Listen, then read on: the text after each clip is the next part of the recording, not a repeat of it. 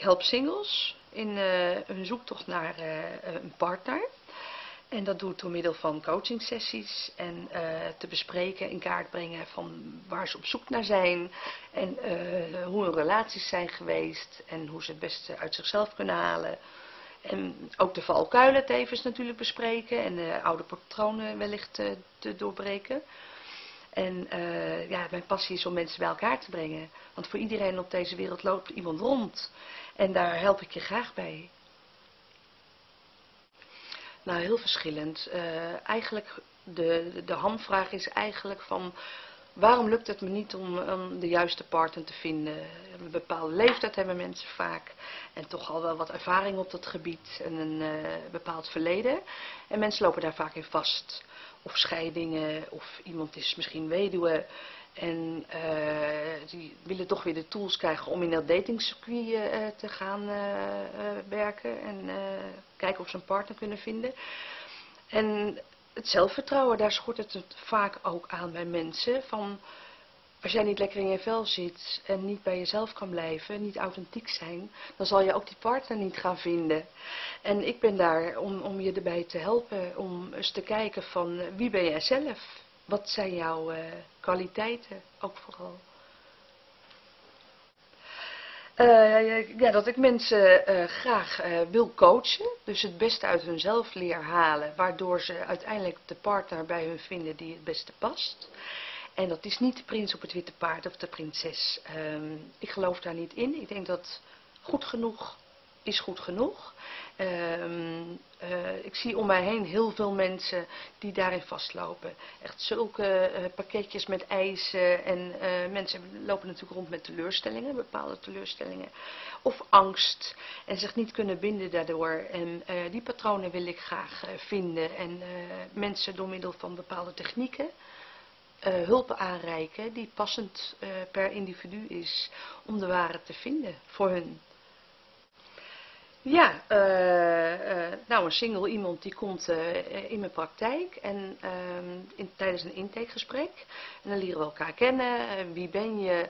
Wat zijn jouw relaties geweest? Hoe staken die in elkaar? Um, wat zijn eventueel terugkerende patronen in de relatie wat niet lekker loopt. En uh, bepaalde valkuilen, waarschijnlijk weet je die op een bepaalde leeftijd wel van jezelf. En um, ga je de link leren leggen van waarom bepaalde zaken niet meer voor je werken in een relatie. Of die je misschien moet loslaten. Dus eigenlijk functioneer ik als een soort van spiegel. Letterlijk hangt er ook een spiegel in, in, op kantoor. Uh, dat de mensen naar zichzelf eens gaan kijken ook van wat doe ik misschien fout? Wie ben ik? En heb ik niet mijn eisenpakket echt gigantisch groot? En uh, um, als je dat voor jezelf weet, dan komt die partner uiteindelijk ook wel. Ja. Ik denk dat uh, uh, zo en zo dat je wel ervaringsdeskundige moet zijn. Ik ben natuurlijk zelf regelmatig single geweest. En nu gelukkige relatie en zes kindjes. Um, uh, het feit dat ik relatiecounseling studeer, dat zie ik als echt een pluspunt. Dus dat, gaat erg diep, waardoor je ook uh, door de mensen heen kan prikken en uh, goed met hun kan omgaan. Um, ik weet voor mezelf dat ik empathisch ben, snel verbanden kan leggen. En het vertrouwen en respect vind ik heel belangrijk in een gesprek met mensen, dat mensen zich op hun gemak voelen. En daarnaast geef ik workshops eh, voor de single. En uh, dat mensen ook om, zich heen zien dat er meer mensen worstelen met, met bepaalde vraagstukken waar je je niet voor hoeft te schamen. Want juist door je bloot te geven en een spiegel voorgehouden te krijgen van een professional, weet je allemaal, iedereen heeft zijn valkuilen en zwakke plekken, maar vooral ook de grote pluspunten van jezelf, die gaan we natuurlijk ook uitvergroten. Dus kom maar op.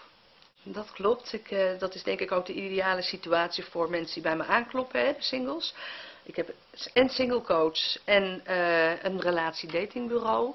Uh, ideale combinatie. Dus wat je leert in de workshops of tijdens de één op één single coach sessies, kan je direct toepassen door je in te schrijven bij het datingbureau met een stukje begeleiding. Uh, vanuit het leven, gewoon mijn passie. Vanaf mijn twintigste las ik al heel veel boeken over man-vrouw relaties. En uh, dat stuk psychologie plus alles wat met relaties te maken heeft. Relatie tot jezelf, de relatie daardoor ook met de ander, hoe je daarin staat. Ja, dat vind ik zo interessant. Daar wil ik gewoon de kennis die ik heb, zeg maar, overdragen aan de mensen, aan de singles. Want ik gun iedereen een maatje en het geluk in het leven.